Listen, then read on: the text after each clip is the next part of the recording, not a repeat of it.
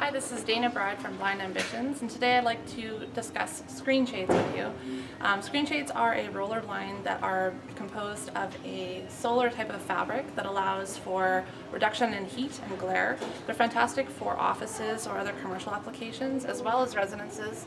Um, the nice thing about a solar shade is that you can actually see through it. There is some opacity um, and view through at the same time.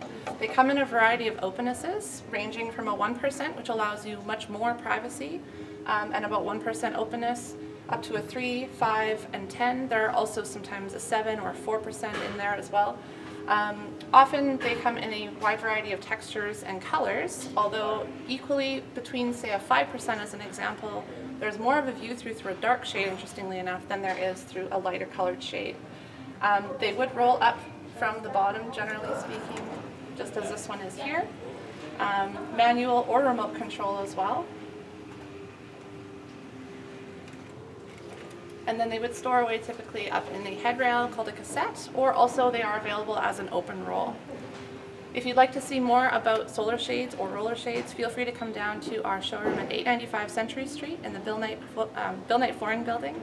And you can also give us a call at 204 982-4880 or visit us on our website at www.blindambitions.ca.